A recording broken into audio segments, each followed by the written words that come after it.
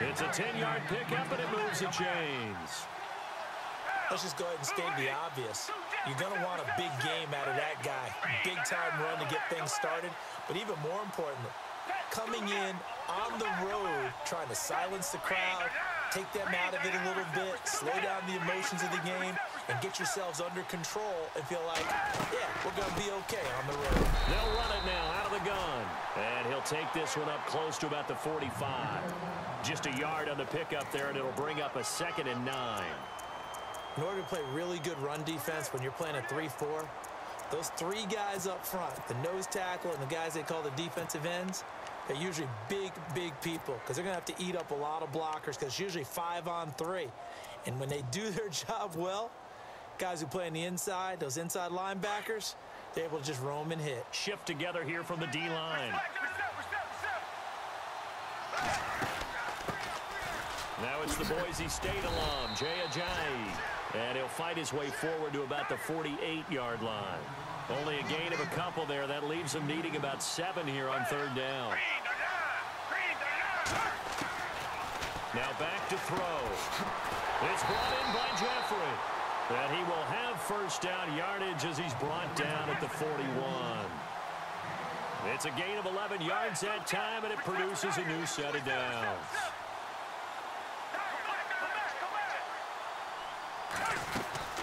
They'll run it now out of the gun. They'll fight forward for a couple down inside the 40. That's a good play by the guys on the defensive side of the ball. Held them to a gain of two. And that changes the playbook a little bit now for the guy calling plays. Second and eight. Now he's got to probably think about going to the air instead of maybe staying with the ground game. They run again with a Ajayi. And he'll take this one down to the 36. Give him three on the run there. Now they're looking at a third and about five. Partner, we know today's NFL is really built around the guy throwing the football. But these short runs, they still pay dividends because they can take their toll on a defense and they can add up as the game goes along. You control the clock, you control the ball, and that way you often control the game. They'll run it now out of the gun. Nine yards on the pickup there, and it keeps the drive alive. I definitely like the play call. You don't expect it on third and five, third and six, do you? You expect a pass play. Had a little courage there to call the run, and boy, they were successful.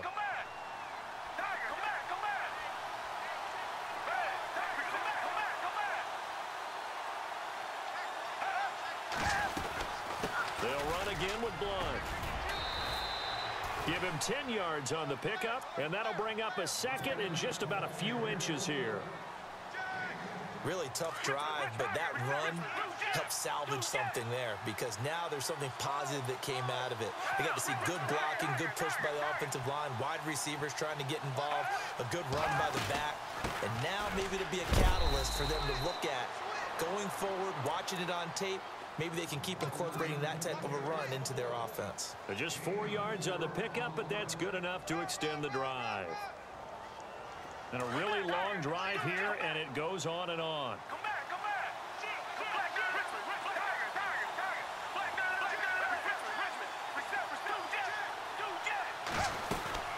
They'll run it now out of the gun.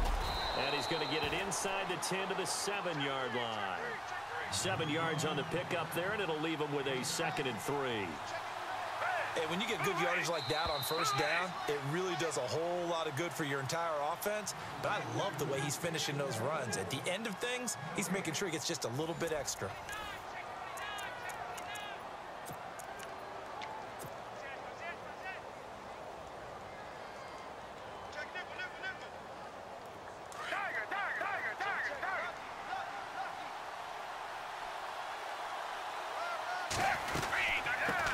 It now out of the gun. And he'll take it into the end zone for an Eagles touchdown. LeGarrette Blount taking it in from seven yards away. And the Eagles drive right down the field and score on the opening drive. It's good, and we're all tied at seven apiece.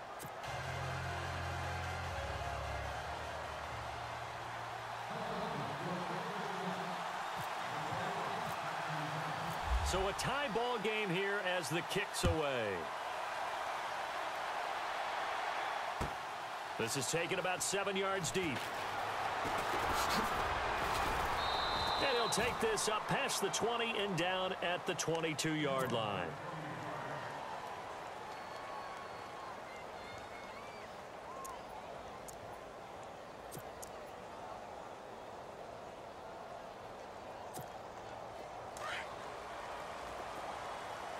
The defensive line disperses a little bit here, maybe expecting a pass.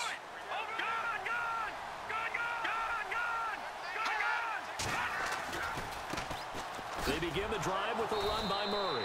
And he will lose yardage on the play, back at his own 19-yard line. A loss of a full three yards, and now it's second down.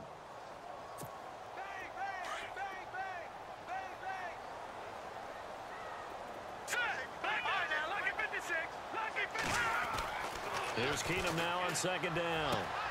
Throwing the out route incomplete. It's Morgan. And he'll get to the 29-yard line, brought down there. They'll wind up getting 10 back as that sets them up for third down.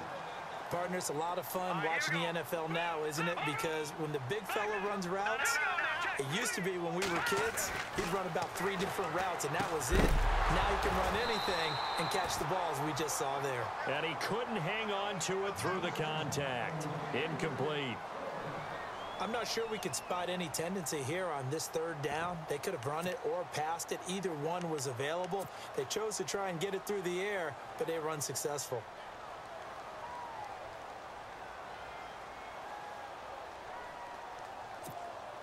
The offense is not leaving the field. They're going to stay out and go for it on fourth and three. They're going to run it with Murray. And he is hit pretty hard from the side as he's knocked down around the 37. Nine yards on the pickup, and it'll be first down Vikings.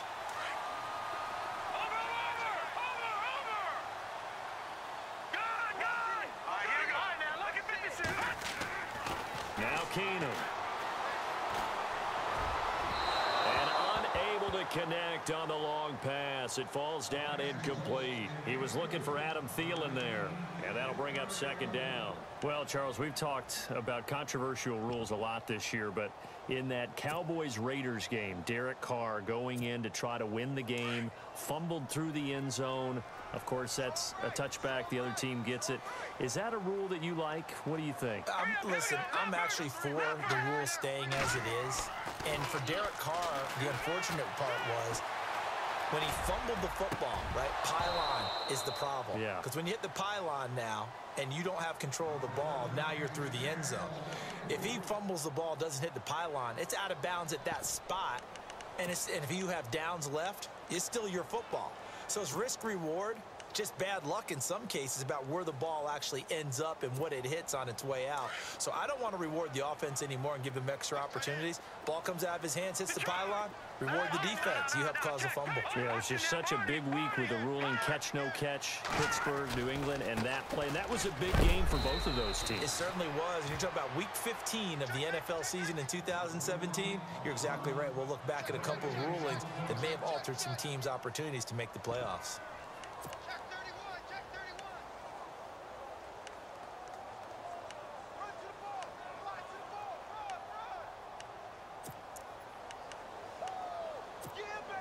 Now the offense not going anywhere. They're staying out there. They've converted once already on this drive. Here they go again on fourth down.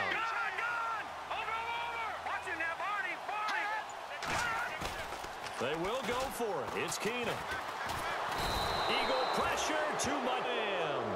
In there to make the sack. He buries him for a loss of 10. The Eagles coming out as they get ready.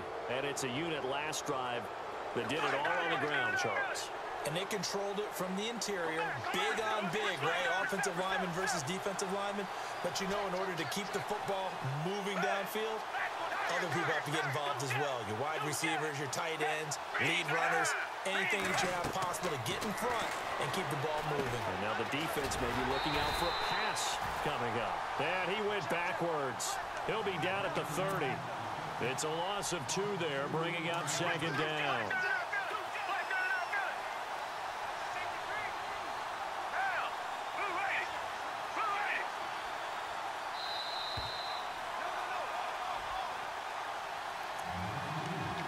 Two minutes to play in a tightly contested first half.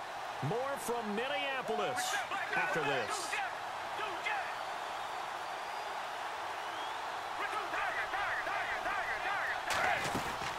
They'll run it now out of the gun. And he'll be brought down inside the 20 at the 19. He'll wind up getting 11 on that one. And that is going to set up a third and one. Look, the first down marker is out there, but sometimes it's hard to find for an offense when they're in a long yardage situation, which usually means throw the football.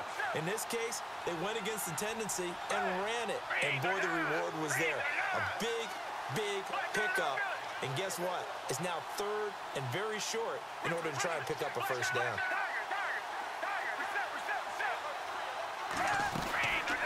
They'll run it now out of the gun. Call it no gain there, and it leads to a fourth down. The Eagles hustling to the line, clock rolling. On every snap, the defense is trying to establish who they are, but on third and short, that's really when you put it out there and tell people who you are, and that's exactly what they did. For the offense, they're looking at their offensive line and saying, guys, where are you? We need you on those plays.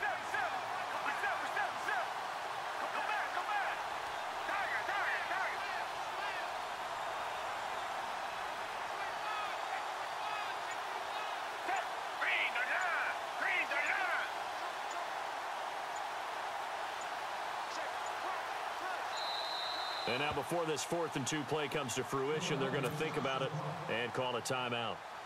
As they'll stop it with just over 40 seconds to go in the first half.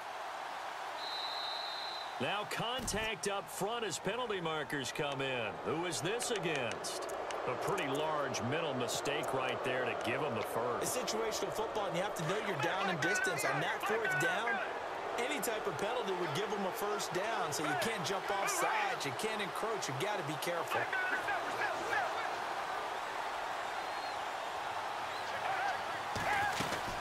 They'll run it now out of the gun. And stopped a few yards shy of the goal line at the three. It's a good gain of 11, sets him up first and goal. Absolutely love the run right there. This guy's known for his quickness, but also for his speed. He's able to get to the second level almost before you blink if you give him any type of blocking. Always talk about slot receivers. They're usually known as quicker than fast. In this case, we've got a guy who's quick and fast, and he used it to great advantage.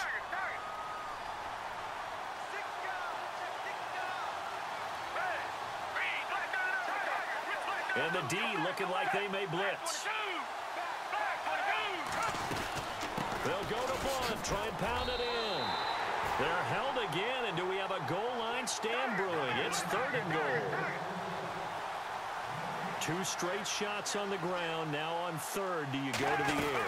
I think the pass... And he's in. Touchdown, Eagles. LeGarrette Blount in the final seconds of the first half. And the Eagles have taken the lead.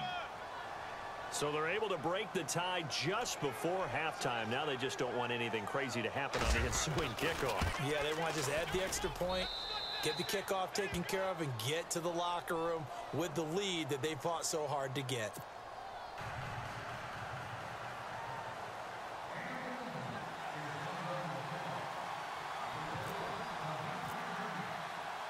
Elliott now to kick this one away. This is fielded a couple yards deep. And all that work, but he stopped where he ultimately would have been, and he simply taken a knee, and that's the 25-yard line. And now out comes Minnesota. And from this spot in the field with the clock where it's at, you think we're just going to see a knee and that's it?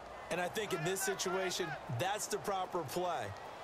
But we do know there's some risk takers out there that may want to take one more shot before the clock runs out. To throw, it's Keenum. And he's going to go down. Couldn't get a throw off with the pressure. Maybe that was for the best as that brings us to the end of this first half.